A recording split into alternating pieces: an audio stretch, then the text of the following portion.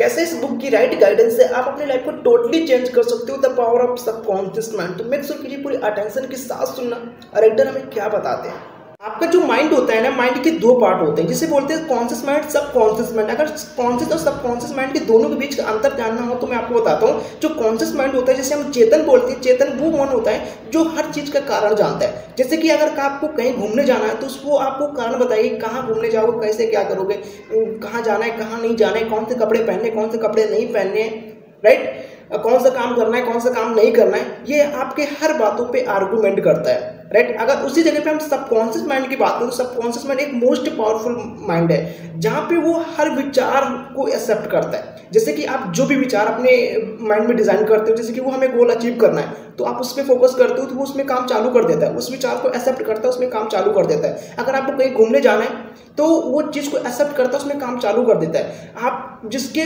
लिए भी आप गलत या बुरा सोच रहे हो तो उसके लिए वो चीज़ को एक्सेप्ट कर देता है, काम चालू कर देता है। आपका सबकॉन्शियस माइंड चौबीस घंटा आपके साथ काम करता है आपके विचारों पे। तो आपको ये देखना है कि यार मैं किस तरह से सोचता हूँ।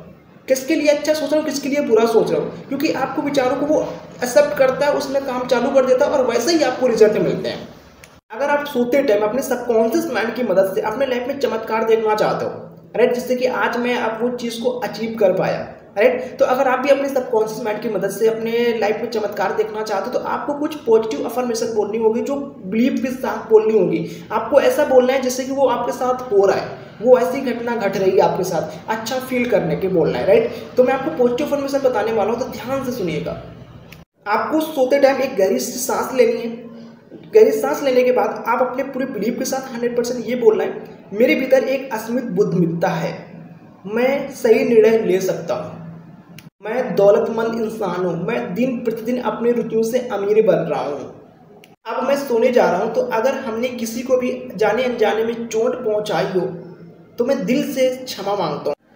भगवान ने हमें कुछ यूनिक बना के भेजा है, जिससे कि मैं कुछ बड़ा अचीव करके लोगों की हेल्प कर सकूँ। और मैं सबके लिए सद्भाव स्वास्थ्य, शांति और जीवन की सारी खुशियों की इच्छा करता हूँ। मैं एक भाग्यशाली इंसान हूँ। लाइफ में जो भी कर रहा हूँ परफेक्टली कर रहा हूँ।